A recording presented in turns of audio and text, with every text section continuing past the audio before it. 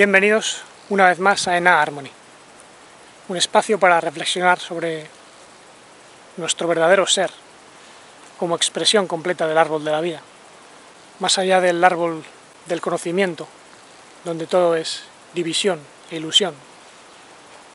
Y sin duda alguna, vivir conscientemente en el árbol de la vida implica despertar, dándonos cuenta primero de que incluso cuando nos levantamos por las mañanas permanecemos bastante dormidos, porque nuestra mente está llena de pensamientos, nuestro cuerpo se llena de sentimientos y emociones que distorsionan la percepción de la realidad. No vemos las cosas tal cual son. Es lo que antiguamente se conocía como el hechizo de la doncella. Nuestro alma es esa bella durmiente que debe ser despertada. Despertada por una dimensión más profunda, que es parte del alma divina. Y cuando la doncella comienza a despertar, entonces se convierte en la serenidad profunda, la Jerusalén, que viene de Shalom, calma profunda, y que también se conoce como la Jerusalén celestial, la Jerusalén de arriba. Hay veces que esa serenidad del despertar comienza a tener lugar cuando contemplamos un hermoso paisaje o escuchamos palabras profundas de alguna enseñanza que nos despierta. Pero normalmente esos momentos son efímeros, duran muy poco. En cambio hay otras experiencias mucho más dolorosas, en las cuales el despertar es mucho más brusco. Ocurre, por ejemplo, con los accidentes y especialmente en aquellos que realizamos habitualmente una conexión con el Maestro interior, el Hijo Divino.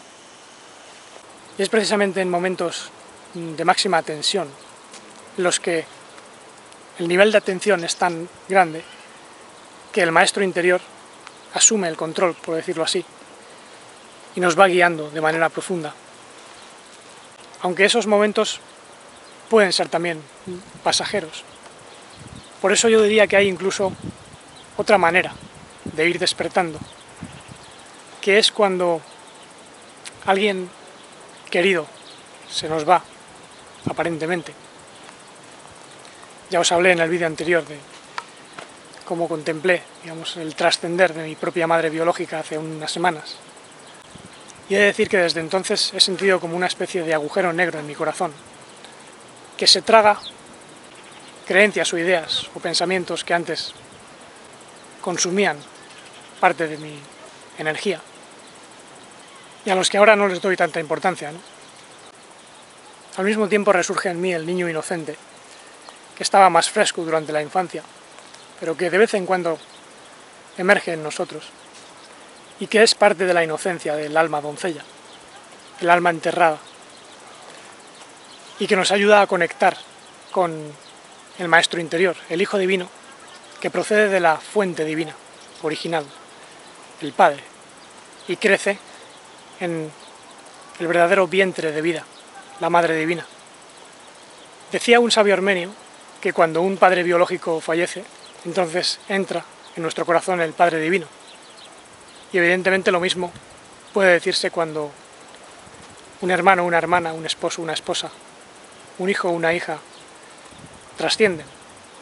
El vacío que deja el dolor de la existencia es al mismo tiempo un espacio donde puede nacer el verdadero amor divino.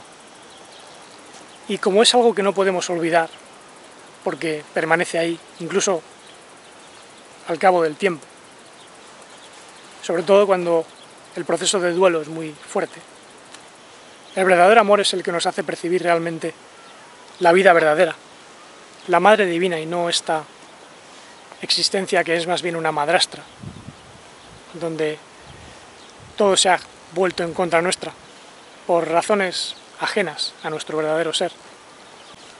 Y ese amor no solo crece con la vida, sino también con la conciencia divina de quiénes somos.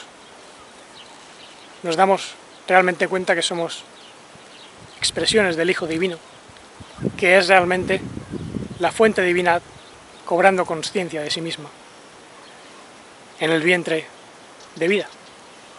Y es entonces cuando puede crecer la serenidad del alma, la doncella. Tenemos ahí el despliegue del verbo divino en nosotros.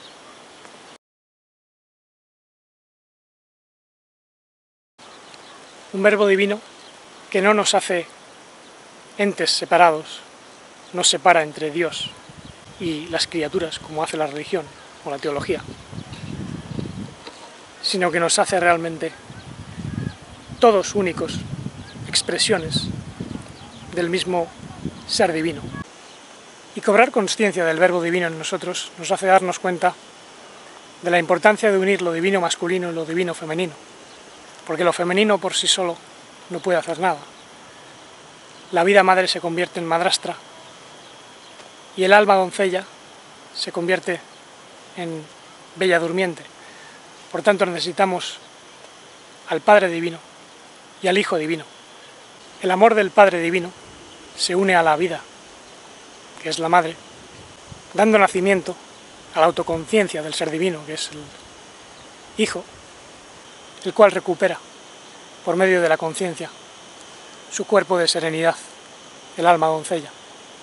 De modo que recibamos todas las bendiciones de ese amor divino, que viene del origen, el Padre Divino, abriendo espacio a la Madre Vida, la autoconciencia del ser divino en nosotros y la serenidad profunda, donde realmente nos damos cuenta de que no nos falta nada, que somos seres completos.